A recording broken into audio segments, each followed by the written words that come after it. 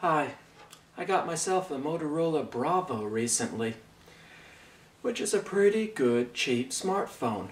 But this isn't a review video. This is about testing your new phone for defects during the trial period, which no one else on the internet is talking about. But it's important. You don't want to get stuck with a stinker, especially on a commitment deal. On the other hand, once you find a problem, you won't be able to forget about it. So I only recommend watching this video if you're in or going to be in the trial period.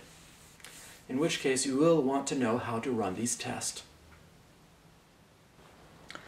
Right, so the first step is the physical inspection. Go over everything, checking for scratches and signs of damage, check the mini USB cable jack. If it's got a hard keyboard, you check that for loose keys. In this case, that's just the power button and volume rocker. You look inside the battery compartment to make sure it's got the battery and the SD card.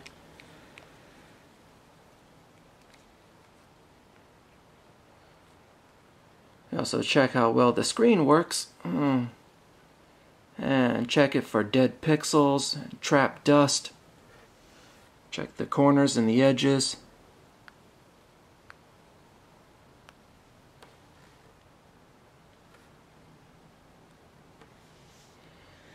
Basically, the next step is to check all the features. Call yourself or someone, make sure the screen goes blank when you hold it to the side of your face. Text yourself, take pictures and video, see how quickly that works, then upload it somewhere and see how well that works. Test the maps, how quickly it finds your location, and the navigate feature, see how well it works with and without Wi-Fi.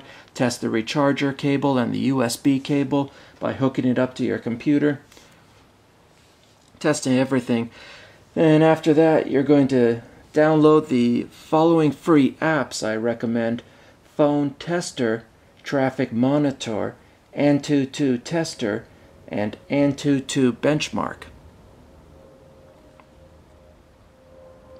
Antutu Tester I showed you.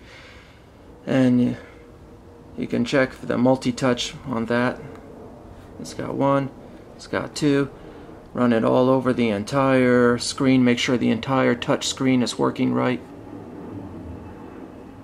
It's got the battery test, which takes about five hours, but you can see how well the battery works well.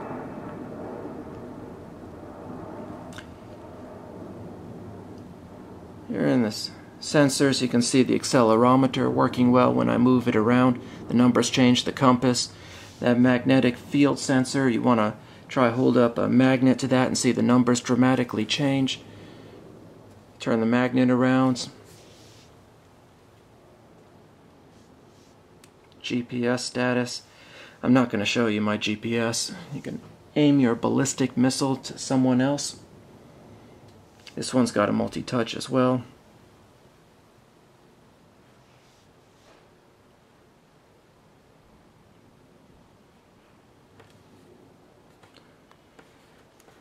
Traffic monitor.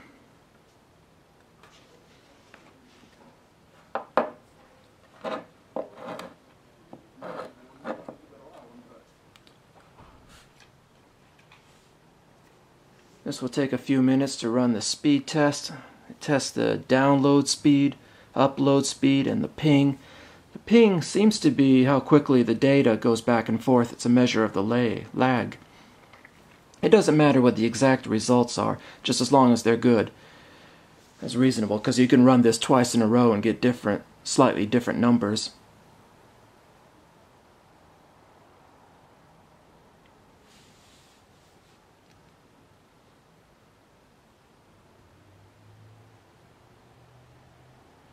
Do you want to benchmark your results? Yeah, sure, why not?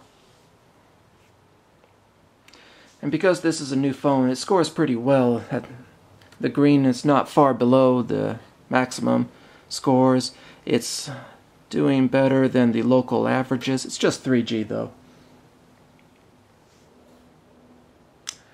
Well, benchmark is better than speed tests if you're on a limited data plan because you can set your limits, monitor how well you're doing, It's also an apps killer.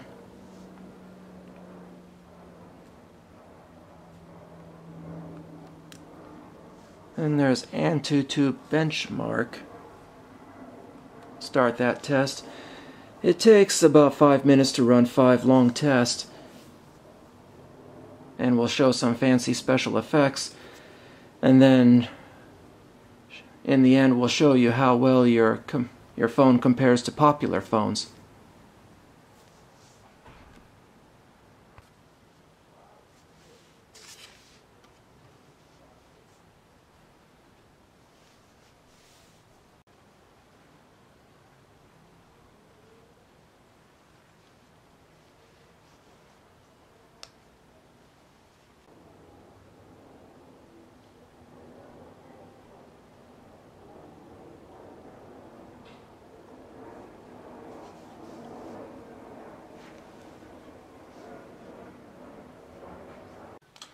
Alright, so it actually did nine tests and gave each one a score and I see that everything is working well and then it adds them up to give an overall score. That's fine. However, when we go into the benchmarks, it shows a comparison of the other phones and unfortunately my cheap $140 phone is at the very bottom. Oh, and this is not the top 10, this is more like a representative sample. All I can say is that my phone works, has no defects, and meets my needs just fine. At any rate, it will show you how well your phone works on the inside and how it compares. Well, I hope that was informative.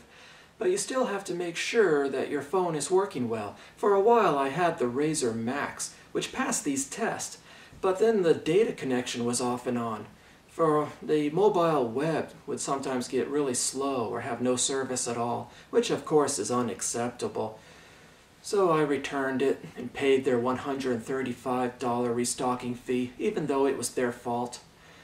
After that, I decided to leave Verizon and get a prepaid phone because to avoid the contract because I just wanted my freedom.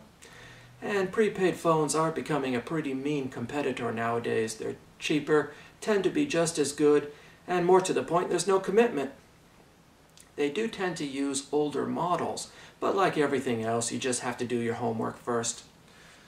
Motorola Bravo is $140 after rebate, and you may pay 35 a month, which is very good for the cost of ownership, so I would recommend it to anyone on a tight budget. If you're not cooking rice and beans over a fire, I might get the Motorola Triumph next time, but definitely prepaid. If you ask me, commitment is for your girlfriend, not your cell phone carrier or gym or any obnoxious company like that. Who do these people think they are? Why do we put up with that? Which is why I advocate everyone go prepaid and make commitment deals history. It's about freedom. After about 12 years with Verizon, I just gave them the boot today, and now I am free of them free of their commitment deals and high prices they do not deserve.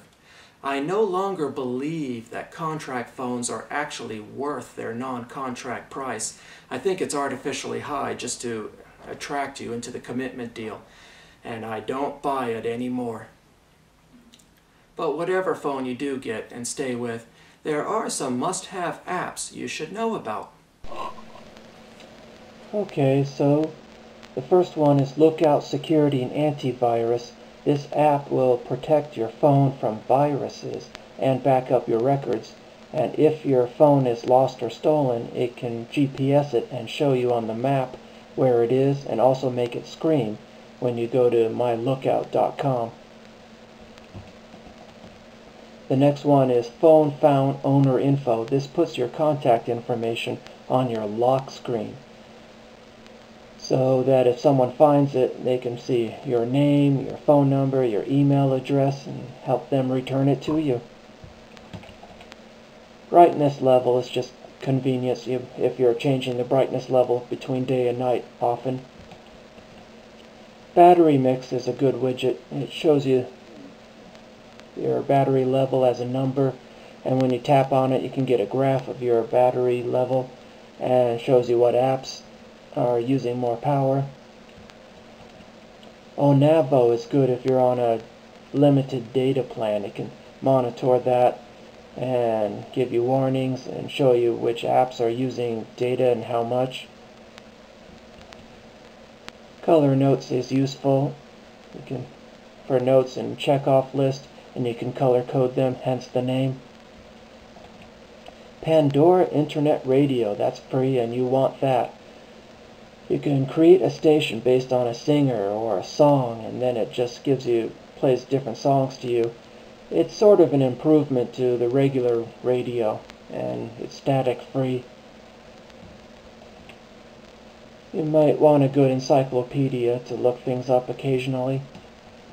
And most people really need a dictionary app because from time to time you just want to look up a word right away.